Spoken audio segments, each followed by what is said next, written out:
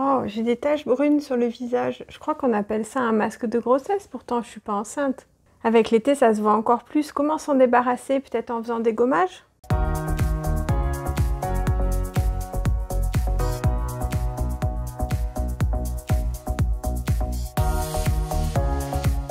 Bonjour, c'est Dermatodré. Je suis médecin dermatologue et je réalise chaque semaine des vidéos d'information médicale pour que chacun puisse apprendre comment la peau fonctionne et comment en prendre soin. Aujourd'hui, nous allons parler du mélasma ou cloasma ou masque de grossesse. Ce sont des taches brunes qui peuvent apparaître sur le visage, le front, les joues, au-dessus de la lèvre supérieure. Nous allons voir que c'est effectivement favorisé par la grossesse, mais pas que. Le mélasma concerne les femmes le plus souvent, mais il est également possible chez les hommes dans 10% des cas. Il s'agit d'une hypermélanose, c'est-à-dire un excès de mélanine, le pigment de la peau, fabriqué par les mélanocytes, au niveau de l'épiderme et ou du derme. Il s'y associe souvent une hypervascularisation, c'est-à-dire une dilatation des petits vaisseaux sanguins situés dans la peau, qui est souvent difficile à repérer puisque la peau est déjà hyperpigmentée et les plus foncée. Pour traduire tout ça en mots plus simples, les mélanocytes sont devenus hyper réactifs, ils fabriquent trop de pigments qu'ils donnent à la peau de manière inhomogène, donc les taches apparaissent. Les facteurs favorisants du mélasma sont tous les facteurs qui stimulent les mélanocytes. En 1, le soleil bien sûr, par le rayonnement UV, vous l'avez déjà vu dans cette vidéo, mais également la lumière visible, en particulier la lumière bleue. En 2, les hormones, c'est pour ça que la grossesse est un facteur favorisant. D'ailleurs, pendant la grossesse, tous les mélanocytes sont stimulés. C'est pour cette raison que les aréoles des seins deviennent plus foncées et une ligne verticale d'hyperpigmentation peut apparaître au niveau du ventre. Mais les hormones féminines, en dehors de la grossesse, stimulent également les mélanocytes. Qu'elles soient naturelles au cours du cycle féminin, ou encore plus avec une pilule contraceptive, un stérilet hormonal ou un traitement de l'infertilité. Il y a également des facteurs génétiques qui font que nous ne sommes pas égaux devant le mélasma. Si votre mère, votre sœur a ce type de tache au niveau du visage, méfiez-vous. Enfin, peu de gens le savent, mais pourtant nous l'avons tous expérimenté, l'inflammation provoque également une hyperpigmentation. Quand vous avez une éraflure par exemple, la peau devient souvent plus foncée autour.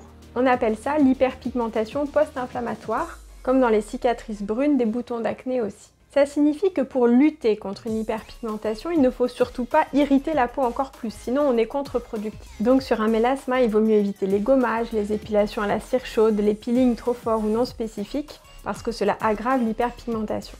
Comment traiter un mélasma? Il est important de comprendre que cette hyperréactivité des mélanocytes est un problème chronique. Je vais sans doute briser certains espoirs, mais aussi vous faire économiser de l'argent plutôt que vous le donniez à des charlatans.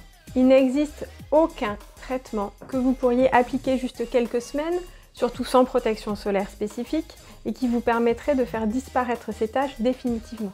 Ce n'est pas possible, la peau ne fonctionne pas comme ça. Ça ne sert à rien de décaper la peau pour enlever le pigment si les facteurs favorisants, le soleil, les hormones sont toujours présents. Le mélasma va se reconstituer, voire pire si on a irrité la peau. Le traitement pour atténuer un mélasma s'articule en trois étapes. D'abord, la protection solaire est indispensable. Je dis à mes patientes qu'il faut une protection solaire de maniaque pour le visage, car vu que leurs mélanocytes sont devenus hyper réactifs, ce sont des mélanocytes de compétition, il leur suffit de quelques minutes d'exposition pour se réactiver. Cela signifie qu'il faut mettre tous les jours, tous les matins, une crème avec une bonne protection solaire d'indice au moins SPF 50, mais qui protège également contre la lumière visible. C'est pour ça que les produits teintés sont en général plus adaptés.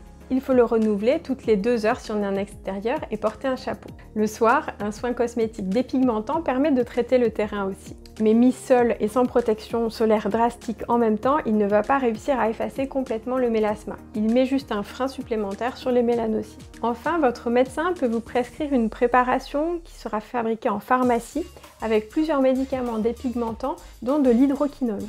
Il ne faut pas utiliser ce produit seul et sur une longue période, sinon il peut teinter la peau de manière inesthétique. C'est le problème avec des dépigmentants dangereux qui sont souvent vendus en Afrique. Dans le cadre d'une préparation magistrale, on y ajoute souvent de la vitamine A et de la cortisone pour justement lutter contre l'inflammation induite par le produit. On comprend que c'est un traitement qui est délicat à manier, qui n'est pas destiné à tout le monde.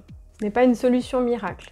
Et d'ailleurs, comme c'est un traitement à but esthétique, il n'est pas remboursé par la sécurité sociale. Concernant les lasers, la plupart des lasers qu'on utilise d'habitude pour les taches solaires ou le détatouage ne sont pas efficaces sur le mélasma. Parce que comme je vous disais tout à l'heure, même si on enlève du pigment, les mêmes causes produisant les mêmes effets, il va revenir, voire même être pire. On peut parfois envisager du laser sur la composante vasculaire du mélasma.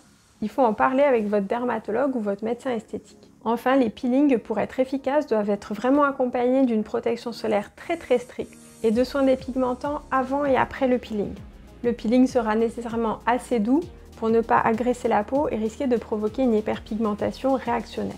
En conclusion, la base du traitement du mélasma, c'est essentiellement la prévention et la protection solaire est indispensable. Ce n'est qu'après plusieurs mois de protection solaire efficace qu'on peut envisager en hiver des traitements plus forts comme une préparation magistrale. J'espère que cette vidéo vous a intéressé. Je vous retrouve dimanche prochain comme d'habitude. Vous savez qu'il y a toujours un chat en direct au moment de la mise en ligne à 19h, donc n'hésitez pas à poser des questions. Et pour être sûr d'être au rendez-vous, abonnez-vous et activez les notifications. A bientôt